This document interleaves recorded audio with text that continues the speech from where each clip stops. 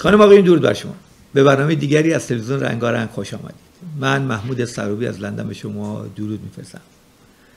در سومین قسمت از مرگواره کرکسا لازم دونستم دقایقی خدمتون توضیحاتی بدم که برای عزیزانی که به هر حال طول این هفته سوالاتی داشتن و شاید ابهاماتی هم تو براشون بود بتونیم جوابگو سوالات شما بوده باشم؟ هدف از مرگواره کرکسا در واقع یک مستندی است که بعد از سی سال و تجربیات بسیاری که در افشاگری و روشنگری چون تلویزیون رنگارنگ رو و مجله رنگارنگ رو به عنوان تنها رسانه های روشنگر و افشاگر می‌شناسن که تو همه زمینه ها سرک میکشیدیم سیاسی فرهنگی ادبی هنری ورزشی غیر و چهره و دست بسیاران این رو رو کردیم. حالا در این مستند بیشتر هدف اون اینه که برای نخستین بار یه چارتی رو مقابل نگاه ایرانیان بذاریم که مثل یک نقشه راهیابی هر جایی که بخوایم تو اون مسیر به اون نتیجه که می‌خوایم برسیم.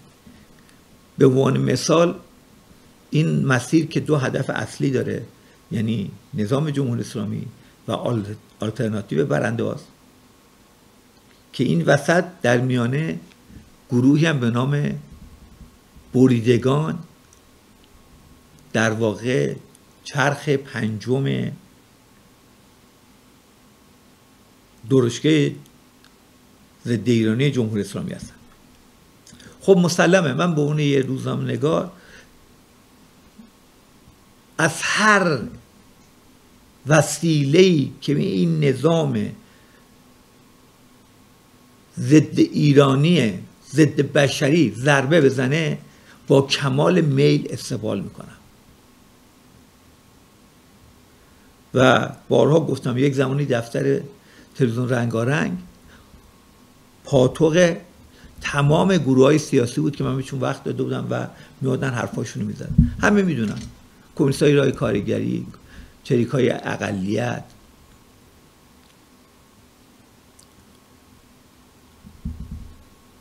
مشروط خواه جپ ملیا مجاهدین. و در روزنامه هم اینو به عنوان تیلون آزاد بیانیهاشون و اطلاعیهاشون رو منعکس می‌کردم. حالا اونم خوششون نمیاد یا نمیاد من کار خودم رو می‌کردم. الان هم دارم کار خودم رو می‌کنم. الان اگه من در این وادی مرگواره که کسا اومدم گفتم از اولش هر آنچه که با شعور من به عنوان یک انسان بازی کنه مقابلش میستم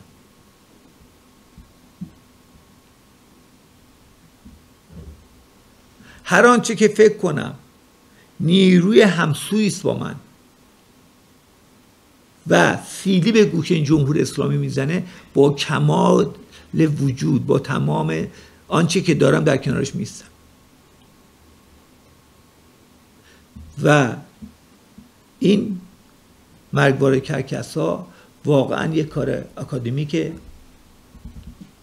یک کاری است که نهایتا و اگر بخواد آنچه که باید باشه به جرأت می‌تونم بگم حداقل 15 نفر آدم فول تایم می‌خواد که چند هفته رو این کار کنن. هر گوشه این پازل خودش بخش های مختلفی داره. وقتی میگیم رژیم جمهوری اسلامی خب شما باید بیای اول اتاق فکرش رو در نظر بگیری همون چارتی که هفته پیش نشونتون دادم. بعد تو اون چارت می‌بینید نزدیک به هفتاد شعبه داره و هر شعبه چه می‌دونم شاید صدها نفر توش کار می‌کنن. خب شما یک چارتی داری با هفتاد شعبه فقط اتاق فکره که اونها بخشش مربوط به داخله بخشش مربوط به خارجه. خب من اینا رو اگر نشکافم برای شما نگم شما فکر می‌کنید مثلا رژیم اتاق فکر جمهوری اسلامی رو مثلا اون علی روزخون و چارت جنتی عقب مونده تاریخ و نمی‌دونم اینا اداره می‌کنن؟ نه. دو نسل سه نسل از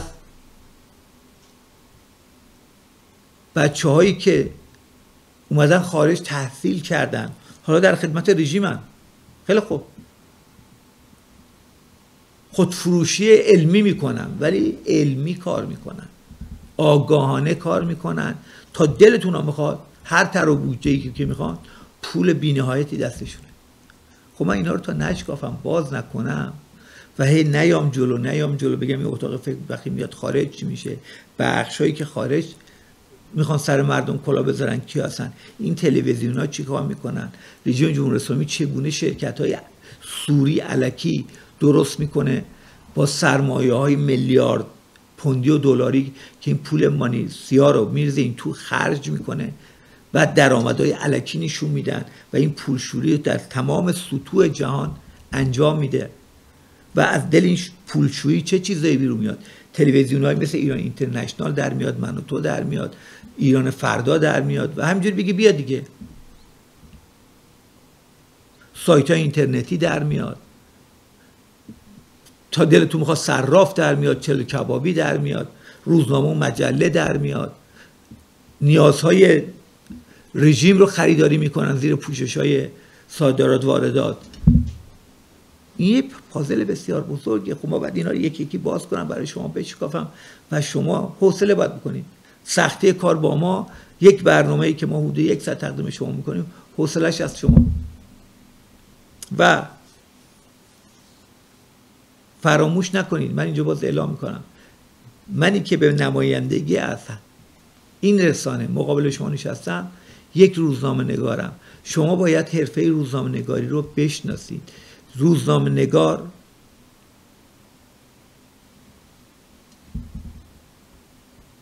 مکانیک. مغازهدار رستوراندار پزشک. ارتش افسر ارتش. همه این همن. اگر وظیفهشون رو اول انسانی و وجدانن انجام بدن.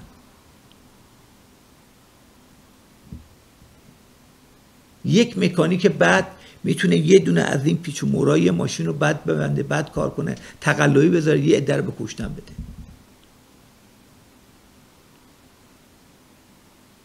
یک روزنامه نگار به نظر من حضورش بسیار بسیار پررنگتر است بسیاری از مشاغله. چرا؟ چون چشم و زبان و گوش جامعشه و جامعه سالمتره پویاتره که رسانه های مستقل زیاد داشته باشید شما در این کشورهایی که دموکراسی هست نگاه کنید. از همه چیز اتفاق این اتفاقا روزنامه نگارا هستن که میرن بسیار کارهایی رو می‌کنن که وظایف پلیسه. پلیس باید اینا رو پیگیری می‌کرده. ولی این روزنامه نگارا هستن که میرن مدرک و سند پیدا می‌کنن که یک وزیر یک ارتشی یک ورزشی خلاف مسیر صحیح جامعه رفته. رسواش می‌کنن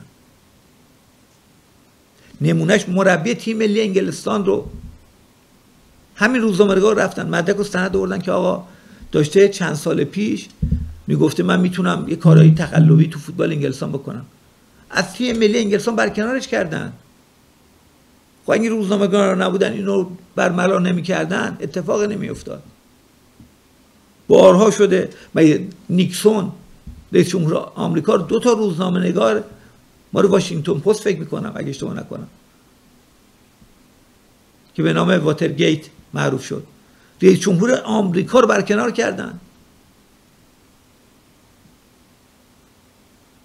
کوتاه کنم این وظیفه منه. و به همین دلیل سی سال تلاش کردم که یک روزنامه نگاری باشم که نه با پول نه با وعد و وعید نه با تهدید نه با ارعاب. وجدان خودم رو گواه می‌گیرم که به هیچ طرف نغلطیدم هر آنچه که بوده بر اساس شعور و تجربه بوده. هر آنچه باش برخورد کردم جایی بوده که طرف خواسته سرم کلاه بذاره و به شعورم بی احترامی کنه. وقتی به سر من بخواد کلاه بذاره و به شعور من بی احترامی کنه یعنی به شما کرده یعنی به جامعه کرده. وگرنه بسیاری از اینها که الان اون ور آب واسدن من این ور آب همه اینها از دوستان من بودن از همکاران من بودن از کارمندان من بودن. می‌خواین در همین تلویزیون یه لیست حد اقلش سی نفری نشون بدم که اینایی که الان اونجا سردندار شدن و باد افتاده زیر پوستشون همین تو تلویزیون رنگارنگ کار می‌کردن. اینها رو میگم. حال خودم رو مقلب می‌کنم و حال روزم رو به خراب می‌کنم برای اینکه یک وظیفه رو انتخاب کردم. و مسئولم متعهدم آنچه که فکر می‌کنم درسته بگم. از این انگ و برچسبام نمیترسم. یه زمانی گروه های سیاسی چپ تو دفتر ما بودن. یه زمانی می‌گفتن سرابی بازه. اصطلاح سیاسی یعنی خط و ربط نداره. و خب آگاه نبودن با بی آگاهی می‌گفتن. برای که نمی‌دونستن شغل روزنامه نگاری یعنی یک ویترین که تا الان با شما صحبت می‌کنم نمونهشو در روزنامه تریبون آزاد می‌بینی. یعنی یک ویترین که ما همه گروه های سیاسی رو اطلاعیهاشون رو چاپ می‌کردیم. این آزادیه. برام مهم نبود اون که عکسش اونجا بود ناراحت می‌شد یا اون یکی ناراحت می‌شد. مهم این بود که من ویترین رو جلو چشم مردم میگذاشم که ببینن بخونن و خودشون تصمیم بگیرن بدونن کی راست میگه کی دروغ میگه. یا اصلا کی با عقایدشون حرفاش نزدیکتره. خب اگه این بسات رو ما فراهم نکنیم چگونه مردم باید بدونن؟ الان برای نمونه بخوام بگم خب یکی از بخش های همین آلترناتیوی که ما می‌خوایم دربارش بحث کنیم موفق بودم خود سازمان مجاهدین خلق و شورای ملی مقاومت. خب مسلما با باید درباره این صحبت کنیم. مگه راز به مهره؟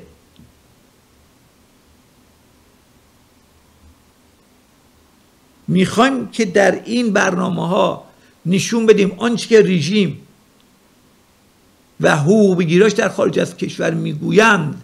راست یا دروغه؟ ما می‌خوایم این راست و دروغ رو به چالش بکشیم. خب هر کی می‌خواد ناراحت شه.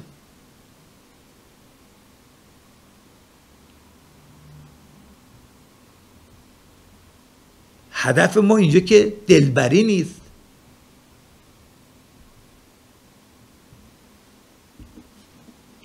من به هر چی که شما اعتقاد دارید من به ایران هم اعتقاد دارم. بعد به بچم. قسم به جون هر جفتشون. هرگز کلمه ای یا حروفی رو به کار نبردم که بخوام از کسی دستور بگیرم. چون دلیلی برای دستور گرفتن ندارم. این ذهن بیماری است که جمهوری اسلامی درست کرده.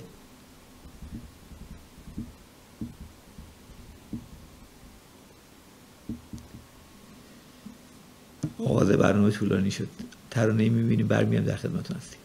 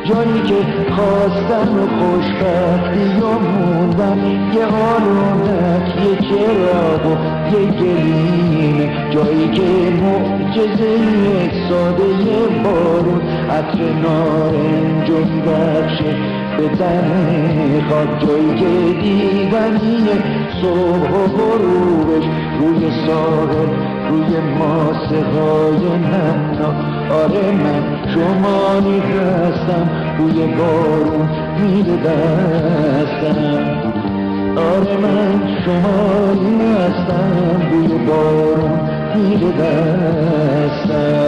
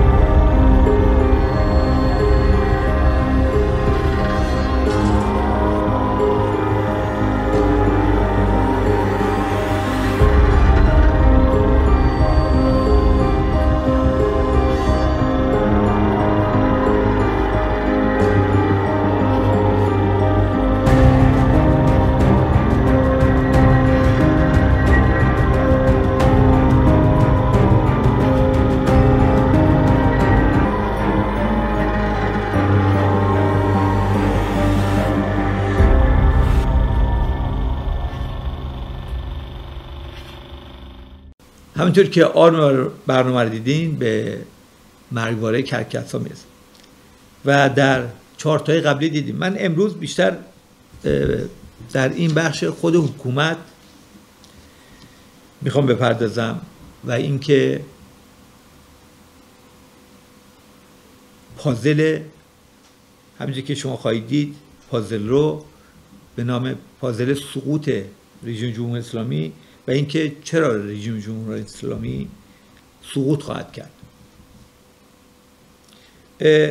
اگر توجه کنید در هم چارت هم هست در واقع در سه بخش کلی بخوام بگیم به کشوری که به حال تقسیم بندی های خودشو داره حال یه بخشش ارتباطات و حمایت های مللیه یه بخشش تو اون منطقه ای که اون کشور زندگی می‌کنه و یه بخش هم مردم هن. یعنی نیروهایی که تو کشور هستن. حالا چون ما درباره جمهوری اسلامی صحبت می‌کنیم نگاه می‌کنیم که این حمایت بین المللی حمایت منطقه و نیروهای مردمی که تامین کننده در واقع مردمی است که باید از یه آزادی و رفاه نسبی برخوردار باشن که تو این قسمت سوم یعنی مردم قرار بگیرن. پایینتر که میایم روی حمایت بین اساس و بنیانش همین اقتصاد جهانیه که رژیم اسلامی بر پایه باج دادن و برباد دادن سرمایه ملت ایران و خرج کردنش برای گروه مختلف تروریستی سر سر جهان و غیر و ذالک این حمایت ها رو تونسته به دست بیاره. در منطقه خب با دخالت های آشکار در خیلی از کشورها حمایت مستقیم از گروه تروریستی تو لبنان، سوریه، یمن، عراق و جاهای دیگه به حال یه پایگاهی برای خودش ساخت ساخته بود. در ایران که خب تحت عنوان ولایت مطلق فقی در واقع زندگی مردم اجباری شد در یک چارچوبی که جمهوری اسلامی می‌گوید انسانهایی که زیر کنترل ما زندگی می‌کنن باید اینگونه زندگی کنن. یعنی حتی طرز لباس پوشیدن طرز برخورد بیرون از خانه همه رو به یه نوعی تحت کنترل گرفت. و در کنارش بر اساس یک تر و برنامه از پیش تعیین شده زندگی اجباری فشارهایی که دستگیری شکنجه اعدام چه صدقه در آوردن چیزهایی که در سطح جامعه هم خشونت رو ترویج کنه هم ترس و وحشت رو. و اعتیاد فحشا بیکاری از رکنایی بود که اینها روش کار کردن و به صورت دولتی تزریق کردن به پیکره جامعه. و به همین دلیل هم ایران طول این چل سال گذشته همیشه افتخار این رو داشته که اولین کشور در میان کشورهای ضد حقوق بشر اسمشون اسم نامبارک جمهوری اسلامی اونجا بوده.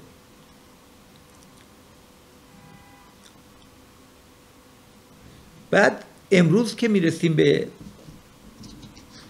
مسئله که خب حالا خب رژیم که بد نبوده. من سیاست جهانیش خوب بوده با اقتصاد جهان کنار اومده حمایت دولت های بسیاری رو به دست آورده که طول این چل سال به حال حفظش کردن.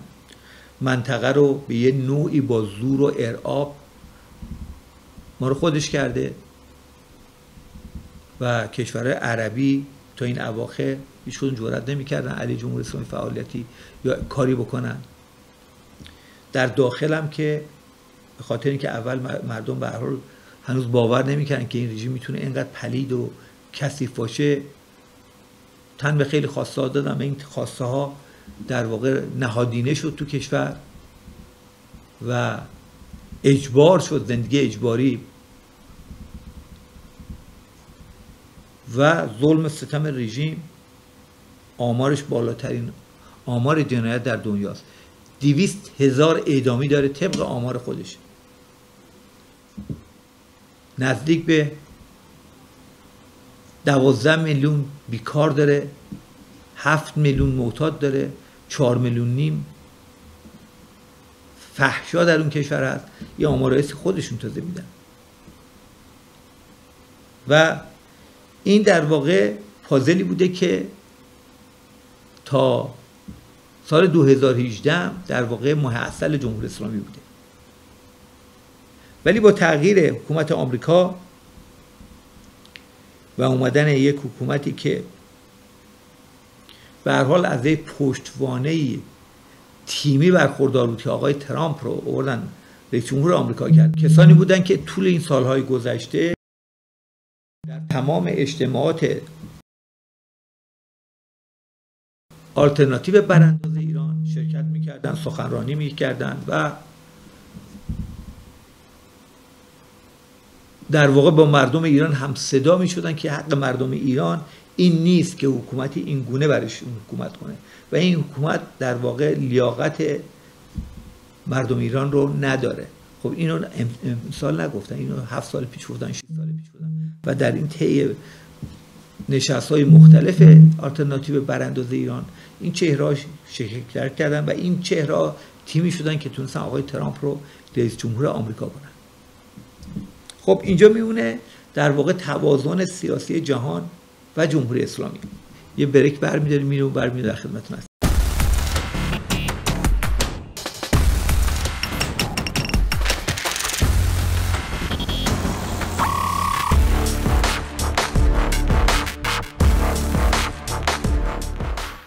در بخش اول کلیاتش رو گفتم که چرا رژیم جمهوری اسلامی سقوط می‌کنه بخش بندیش براتون گفتم. تون سه محوری که حمایت بین‌المللی بود حمایت منطقه بود و مردمی که در قسمت های بعدی همطور که دیدین گفتم به دلیل اینکه اگر سیاست جهانی رژیم رو نگه میداشت به خاطر باجایی بود و زد و بندهایی که همش ترکمنچایی بود. یعنی من کشورهای چپولگر و نکبت و بدبختیش برای ملت ایران. در منطقه هم به دلیل اینکه تمام نیروهای تروریستی رو تقویت کرده بود و قدرت پیدا کرده بودن در منطقه اصطلاح می‌خواستن حکومت ولایی رو در سراسر جهان اسلام گسترده کنن.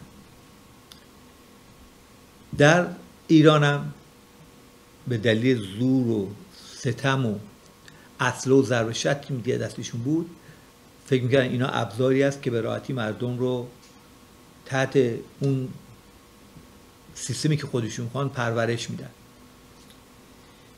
و از اونجا قصه در واقع عوض شد.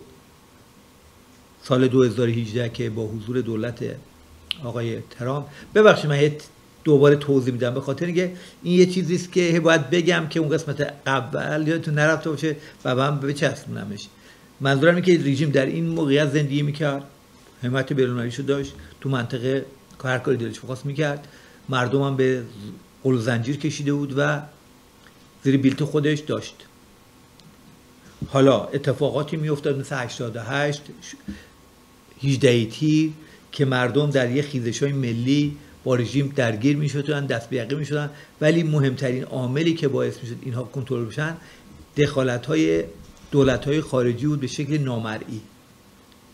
یعنی چی؟ یعنی از طریق رسانه های داخلی و خارجی و ارتباطاتی که بود مردم رو آروم می‌کردن یعنی دفعه می‌دید تمام نشریات داخل ایران به وسیله آدمایی که خودشون رو به اصطلاح مخالف نشون می‌دادن تب رو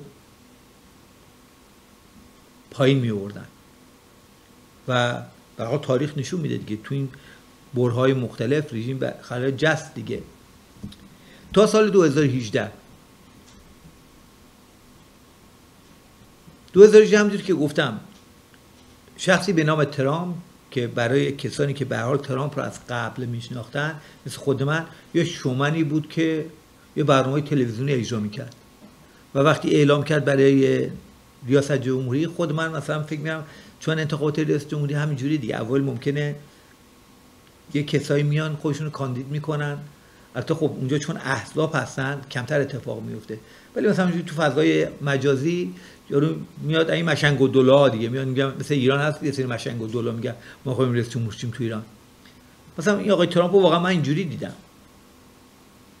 ولی اتفاقی که افتاد به نظر من تاریخ سیاست آمریکا رو حتی مسیرش عوض کرد نشون داد یه تیم قوی چه معجزاتی می‌تونه بکنه. یعنی تیمی که پشت سر آقای ترامپ بود معجزه کرد. مقابل خانم کلینتون یکی از چهرهای معتبر سیاسی جهان با پیشینه 8 سال زندگی در کاخ سفید به عنوان بانو اول آمریکا. بعد وزیر امور خارجه دولت ترامپ اوباما یعنی زنی استخون خورد کرده معتبر در سیاست جهان اومد مقابل یه شومنی قرار گرفت که اصلا شانسی نداشت ترامپ. ولی همون که گفتم معجزه اون تیم انقدر کار کشته بود انقدر خوب تونست کنترل کنه نبز انتخابات آمریکا رو که آقای ترامپ رو رئیس جمهور کرد. حالا تا اینجا که خب مثل همیشه بود دیگه. یعنی دولت های آمریکا همیشه یه جست به ظاهر در تضاد با جمهوری اسلامی می‌گرفتن ولی پشت همه زد و بند بود که نمونهش سید حسین اوباماست که دیگه اون آخرین دست گلشون بود که چند صد میلیون پول نقد و سوار هواپیما کرد دو دستی داد به جمهوری اسلامی که باج بگیره. این تیمی که پشت سر آقای ترامپ بود یه background داشت. اونهایی که تو متن سیاسی هستن خب میشناختن این افرادو. این افراد چهره‌های شناخته شده بودن استخوندار بودن. توی بخش های مختلفی از ساختار حکومت سیاسی نظامی امریکا حضور داشتن سالیان سال. مثل مکین که می‌خواست حتی با دوره دوم می‌خواست با اوباما رقابت کنه برای رئیس جمهوری. جان بولتون. حالا بخوام استفاده تعداد زیادن. اینها تو این سالیان گذشته اومدن پشت آلترناتیو برانداز جمهوری اسلامی قرار گرفتن. و در تظاهرات مختلفی نشست های مختلفی حضور داشتن سخنرانی کردن فیلم هاشون هست عکس هاشون هست که تو اون سالا همیشه تاکید می‌کردن به دولت آمریکا میتاختن که این دولت آمریکا داره مماشات می‌کنه به دولت جمهوری اسلامی و لیاقت مردم ایران بیشتر از اینه که اینها بر مردم ایران حکومت کنن. The declared policy of the United States should be regime change in Iran.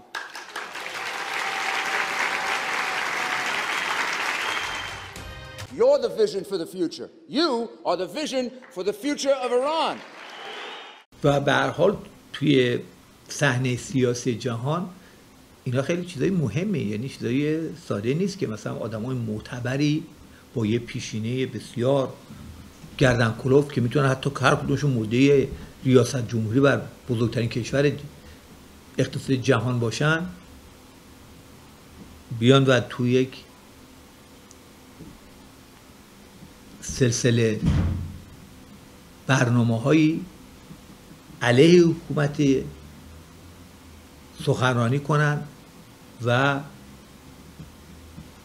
خودشون رو در کنار مردم ایران قرار بدن. از این ور خب نگاه می‌کنیم اون چارزل که به اصطلاح یک حکومتی رو حفظ می‌کنه جمهوری اسلامی شکست به خصوص تو این دیماه 96 که نزدیک به 160 شهر ایران ریختن بیرون تظاهرات عمومی علیه حکومت کردن و خانه سرنگونی حکومت شدن این پازل رو کاملتر کرد. یعنی در داخل به این گونه شد. در سیاست جهانی توازن به هم خورد چون آمریکا اومد و خط قرمز گذاشت برای حکومت جمهوری اسلامی.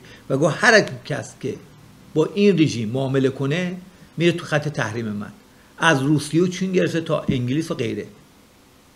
یعنی اصلا همچین اتفاقی من فکر کنم تو تاریخ سیاست جهان بی‌نظیر بوده که یه رئیس جمهوری بیاد اصلا روزی که میاد رو صندلیش میشینه انگار فقط هیچ کاری تو دنیا نداره غیر از این حکومت جمهوری اسلامی. The Iranian regime is the leading state sponsor of terror. روزی نیست که دولت ترامپ علیه نظام جمهوری اسلامی یه بیانیه صادر نکنه یا خودش و همکاراش. هی به مراتب مثل شطرنج تیمش رو جابجا می‌کنه. که تیمی محکمتر و قویتر علیه این نظام باشه. حتی متیس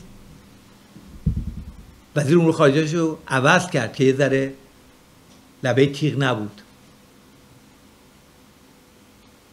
و اینا همش پیام هم از پیام خیلی جدیه.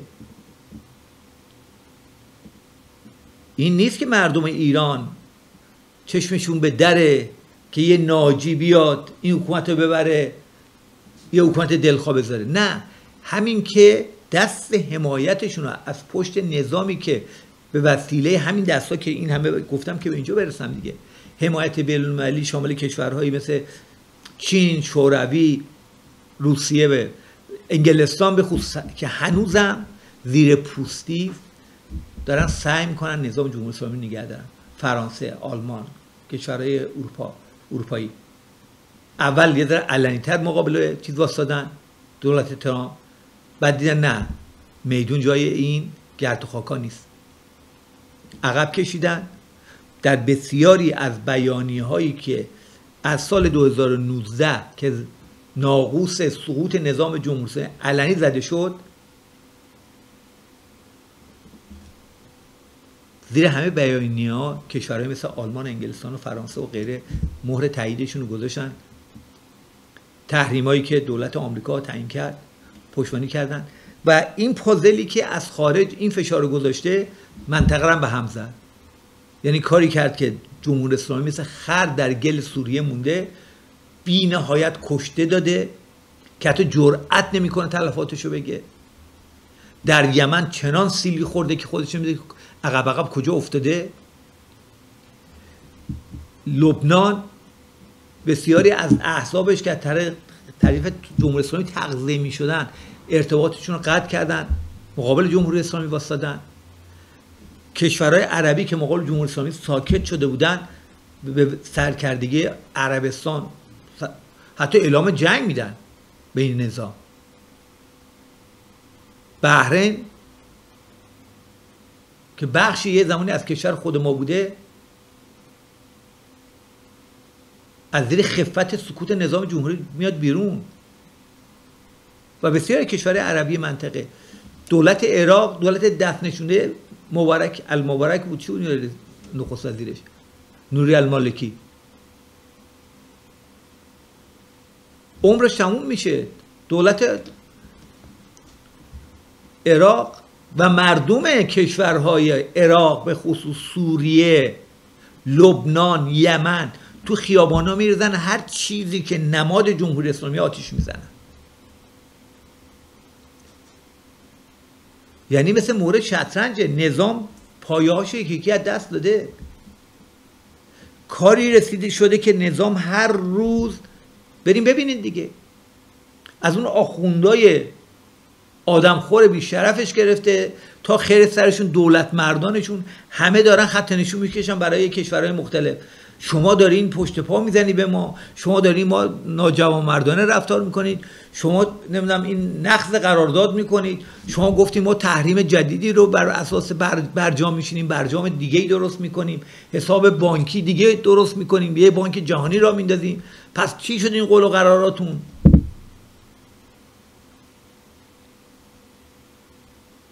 و مردم. مردم ایران الان ایمیجی که میده کاملا مشخصه. همه منتظر این اتفاقن. همه نشسته گوش به خبرن که این اتفاق کی؟ امروز میفته فردا میفته تو اصفهان میفته تو شیراز میفته تو بجنود میفته.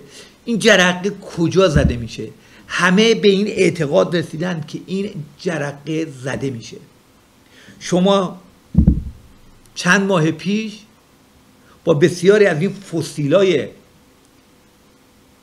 عقب افتاده منفعت طلب متعفن وقتی صحبت می‌کردی میگو ای بابا آقا این رژیم مگه میره؟ چل ساله میگن. این رژیم بابا پایای سفتر از این حرف هاست الان دیگه همه خفه خون گرفتن. اینها منظورم اینه که تو این پازلی که درباره سقوط نظام جمهوری اسلامی گفتم اینها همه وجود داره. و این بر نگاه می‌کنیم می‌بینی مردم با هم اتحاد پیدا کردن. یه همبستگی به وجود اومده. مالباختگان تو خیابونن مردم دیگه میرن کنار شما مثلا باشون ابراز همدردی می‌کنن. مادران خاوران میرن دنبال اجساد بچه هاشون میگردن. مردم دیگه میرن کنارشون ابراز همدردی می‌کنن. کامیندارا اعتصاب می‌کنن مردم که خودشون ناتوانن ولی سعی می‌کنن زندگی روزمره این رانندگان متأسلن رو تأمین کنن. و اینور اون سازماندهی که حسای مقاومت کانونای شورشی هر چی اسمشو می‌ذاریم داره شکل تکاملی خودش رو می‌گیره. و این جرقه زده خواهد شد. چون میگم تغییر سیاست جهانی منطقه و داخل مردم جز سرنگونی طلبی هیچی نمی‌خواد این داستان نخنما تمام شد. که حالا تو این قسمت برای اینکه به شما نشون بدم که یه بخشایی که نیروهایی تو ایران هستن که سوالات زیادی از من چون شده تو این قسمت اینو گنجوندم که می‌پرسن که آقا چرا شما مثلا به کسانی که دارن با این رژیم میجنگن در داخل؟ شما میگین اینها مهره های رژیم هستن. اینا سوپاپای ایمنی هستن. اینا که جونشون رو کف دستشون گرفتن که. اینا که هر چی که باید که تندتر از حتی اپوزیسیون خارج از کشور به رژیم میگن. چرا شما اینا رو متهم می‌کنین به همکاری با رژیم؟ خب راست میگن. همون که گفتم اون بخش اتاق فکر رژیم جمهوری اسلامی که فعالانه خارج از کشور این همه سرمایه گذاری کرده این همه تلویزیون گرون قیمت رو انداخته این همه ارزال اوباش و لباس منتقد و کارشناس و صاب نظر کرده تو این تلویزیون ها آدمای جانی آدم کشی مثل مهاجرانی که وزیر ارشاد و حکومت خونخوار بوده اکبر گنجی اکبر پونسی که کارنامه جنایتکارش از ترکیهش گرفته تا غیر زالکش هست. محسن سازگارایی که دستش تا به قولی گفتنی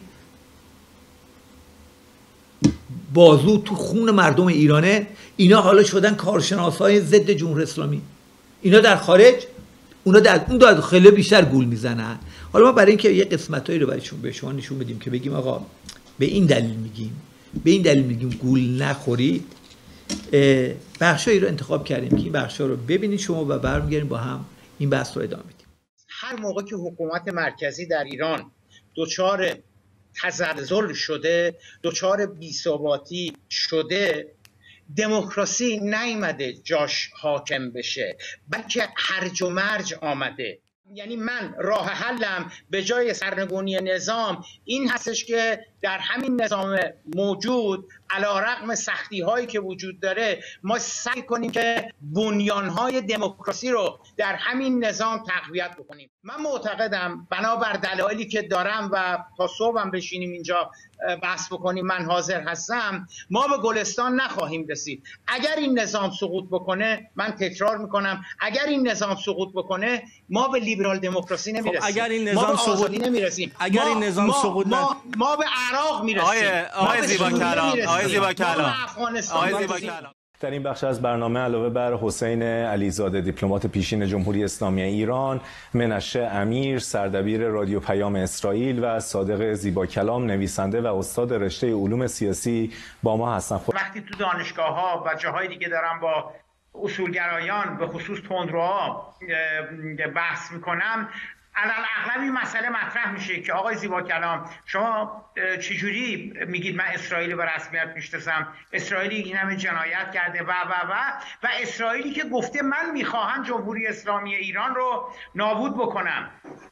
بنابراین جمهوری اسلامی ایران داره دفاع از خود می‌کنه اگر هم بگوید که من می‌خوام اسرائیل رو نابود بکنم. من تا اونجایی که می‌دونم آقای خردپیر من تا اونجایی که می‌دونم ظرف چهل سال گذشته که از عمر بابرکت جمهوری اسلامی ایران میگذرد من گمانم بر اینه که به سمت ویرانی هرچه بیشتر. شما همه این معضلاتی که برشمردید و ابهام هایی که جناب زیبا کلام برشمردن کاملا قابل رفع و رجوع هست. یعنی کاملا من تضمین می‌کنم. جناب آقای زیبا کلام هم تضمین می‌کنم که ما می‌تونیم بر همه این مشکلات فائق بیاییم و همه رو حل بکنیم. منتها به شرط ها و شروط ها که نخبگان و شایستگان در سر کار قرار بگیرن. خب حتما خیلی از شما تعجب کردید نه؟ وقتی میگم اینا سوپاپای ایمنی رژیمن ببینید آشکارا دارن میگن دیگه فارسی هم دارن میگن. و جالبه شما نگاه می‌کنید مثلا میگن که کسانی که ایران با این تلویزیون خارج از کشور صحبت کنن یه جرمه. الکی ها. چون روز تا شب این تلویزیون دارن با داخل با همه صحبت می‌کنن. خیلی جالبه. بعدم شایعه می‌کنن اینا هم که تو این تلویزیون خارج از کشور کار می‌کنن نمی‌تونن برن ایران. خانواده‌هاشون که در خطرن و بی بی سی یه بازی رو میندازه برای گم- گمراه کردن افکار رو یعنی ما خیلی ضد رژیم هستیم و همین آقای منش امیر میاد از اسرائیل هواداری می‌کنه از این بازی بی بی سی و یه شامورتی بازی را میندازن که افکار عمومی رو برن به اون سمت که آقا این تلویزیون ها مخالف این نظامن که اون بیننده بند خدا باور کنه چرندیات اینا رو که اینا علیه رژیمن اینا نه سوپاپای ایمنی رژیم عزیزان من. من بیشتر هدف این که این چیزها رو شما باور کنید. همینطور که دیدید. ببینید جالبه آقای منوش امیر از اسرائیل که گفتم زیبا کلام با آقای منش امیر صحبت می‌کنه و حتی خط قرمز رژیم میشکنه که نه مرگ بر اسرائیل دولت و دولت مردان ایران نمی‌خوان. این یه چیزی بوده. مثلا زمان خمینی گفته شده. حالا یه چیز نخنماست. یعنی سیاست خط قرمزی نظام جمهوری اسلامی رو بیرنگ می‌کنه. که در واقع به بیننده تلقین کنه. آقا ماها آدمای دیگه هستیم از جدا از این حکومت که اون ولایت فقیه است. چون اینا همون که بارها و سالها من در این تلویزیون گفتم همون مسئله 28 یعنی یه جوری به اون حکومت حمله می‌کنن مثل نوریزاد مثل همین خزعلی. مثل خزعلی مثل زیبا کلام مثل بسیار اون عباسی دیوانه و خیلی کسای دیگه که شما باور کنید واو اینا ضد جنبه این خامنه اینا چی میگن؟ دوز میگن جوانی میگن آدم کش همه چی میگن. ولی ولی خود نظام مقدس جمهور اسلامی خوبه. اینا یه ذره کثیفش کردن که اینا رو ما بیرون کنیم تمیز میشه. دیدی خودشون گفتن دیگه یه حرفای من که نیست که. و حالا جالبه برای اینکه یه حسن ختامی بدم به این قسمت برای اینکه خیالتون دیگه کاملا راحت باشه. آقای نوریزاد که این توهم تو بسیاری از ایرانی ها هست و متاسفانه تو چهرهای سیاسی هم هست که ایشون با اون حرفایی که زدی خوش دیدین تایید نظام کردی که کاملا با زبون خودشه. و این هیچ ارتباطی به ارتباطات من آقای نوروزاد اصلا نمی‌شناسم. نه پدر کشتگی شخصی باش دارم و حتی پسرش که خارج از کشوره بسیار دوست دارم باش ارتباط دارم باش مصاحبه کردم و تو این جنگ های سیاسی چون منافع مردم وسطه اینجا دیگه هیچ خیشاوندی و دوستی و آشنایی رفاقت این چیزا نداریم.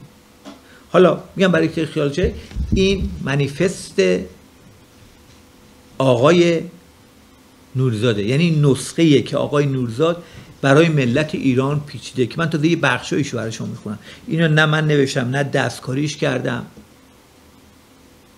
اینو فقط واسه اونایی میگم که وقتی آقای نوروزاد میره پیش آقای نوروزاده تو تلویزیون اون صحبت می‌کنه بعد میاد بی بی سی بعد از بی بی سی میپره میره من و تو از من و تو میپره میره این ور اون چه می‌دونم هر جایی که هست اینا هستن دیگه.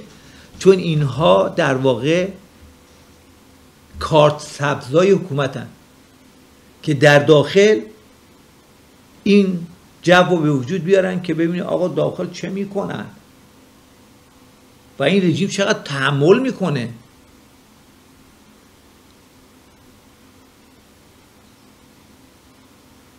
و آقای نوریزاد برای مردم ایران اینجا دیگه نسخه میپیچه. علنا میگه که خیالتان تا مدت ها از بابت نظام آسوده خواهد شد.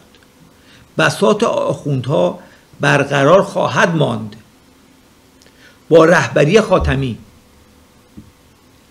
امام جمعه ها تنها امام جمعه خواهند بود.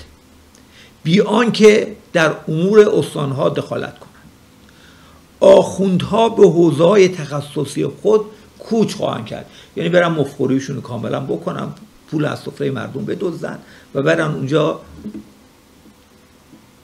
چه کنم چه کنم با هم بکنن. و از سر فرو بردن به جاهایی که با آنها مربوط نیست پریز خواهند کرد.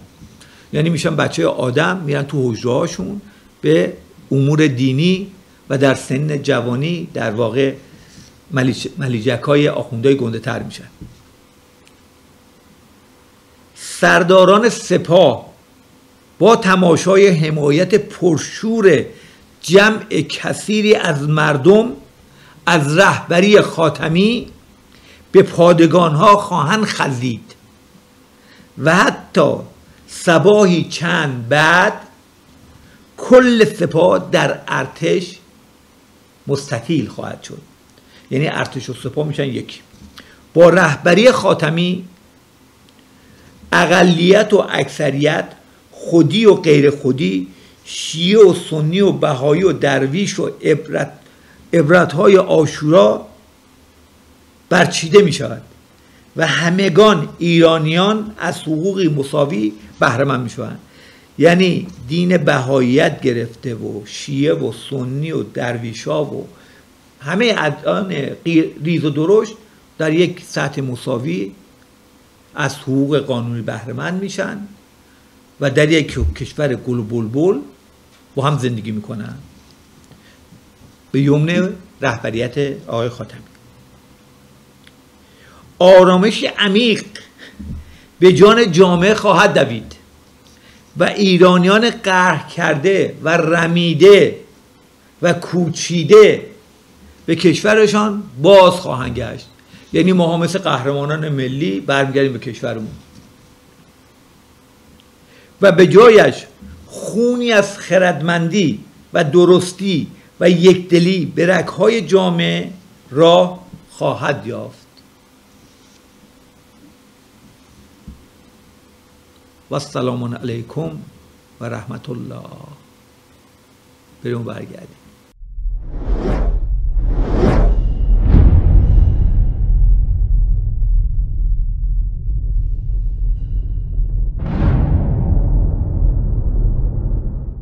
پس جنبندی خواهد شد که چرا رژیم حتما سقوط می‌کنه؟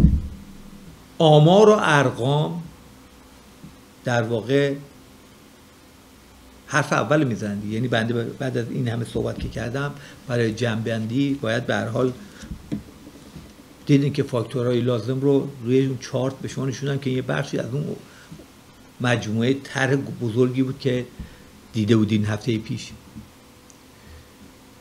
به این دلیل که پایه اصلیش حمایت جهانی رو از دست داده. اقتدارش رو در منطقه به طور کامل از دست داده. یعنی دو ستون مستحکم خارج از کشورش رو از دست داده. خفت خاری هم براش مونده. که گفتم در سوریه و یمن و لبنان و عراق می‌تونید به خوبی ببینید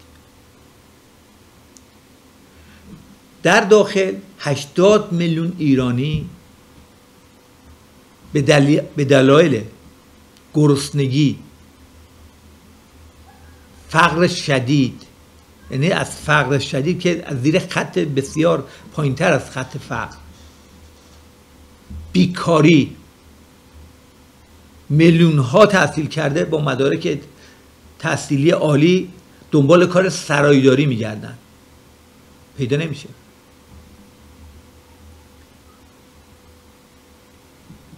احتیاط.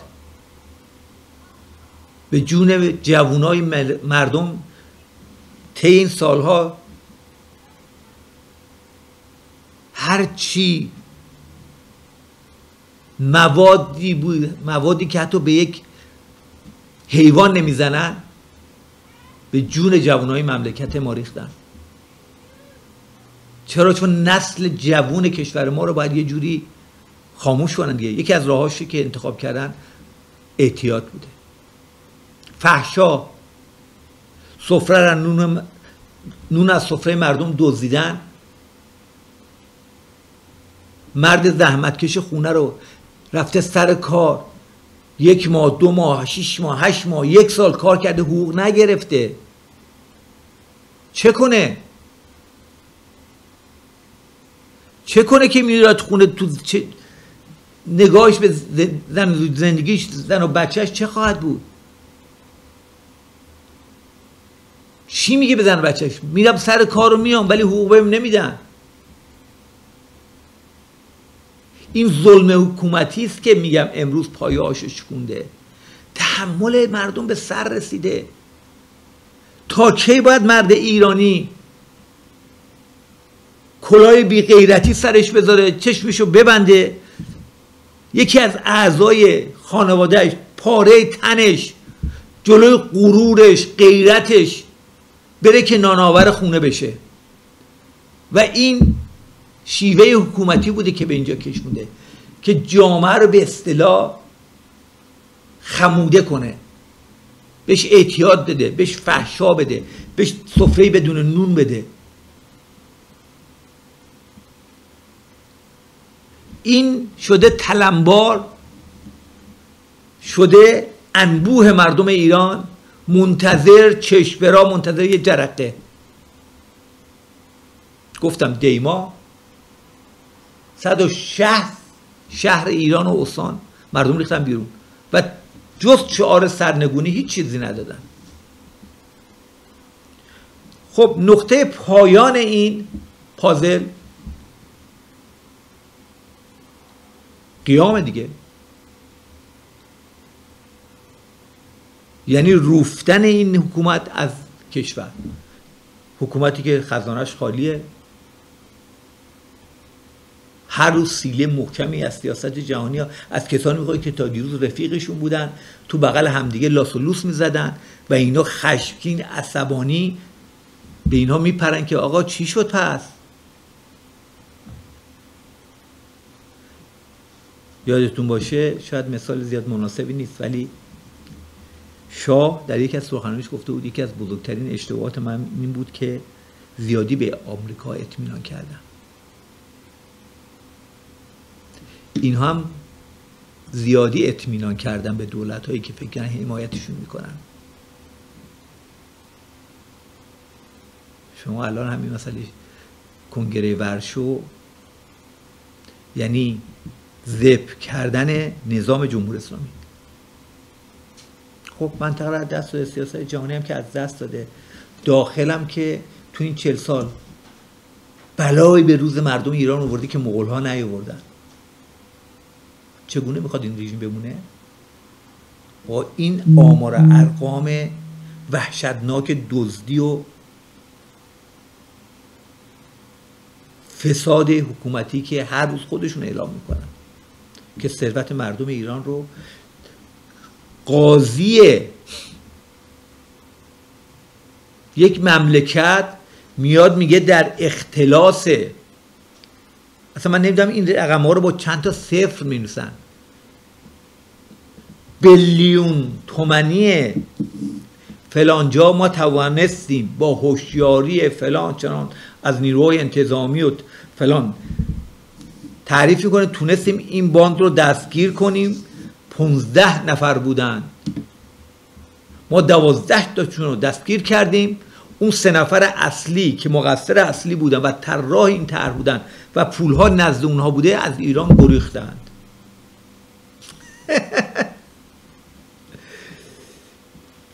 به همین دلیل حکومت سقوطش قطعیه. این قسمت سوم برگواره کرکسا رو در پازل سقوط نظام جمهوری تقدیم حضورتون کردیم. در قسمت چهارم هر قسمت اینها جذاب و شنیدنیه. می‌رسیم به پازل کمکی رژیم در خارج از کشور. چگونه در خارج از کشور؟ رسانه های ایرانی و مجموعه یک این خط دفاعی حکومتی در خارج از کشور چگونه است؟ کیا هستند؟ با سند و مدرک خدمتتون ارائه خواهیم کرد. تا برنامه دیگه شما رو به خود ایران شاد و سرفراز